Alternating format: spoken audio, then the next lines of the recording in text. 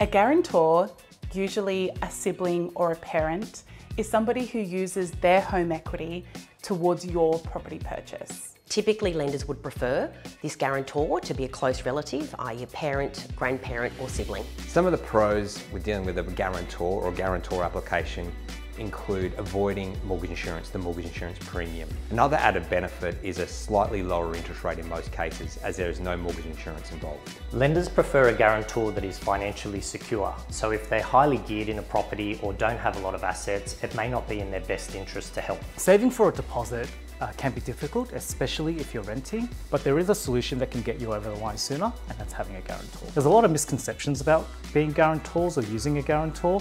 Definitely would advise speaking to a mortgage broker because even though your parents or even though a guarantor does qualify for a guarantor, there are also other questions around it as should they be a guarantor.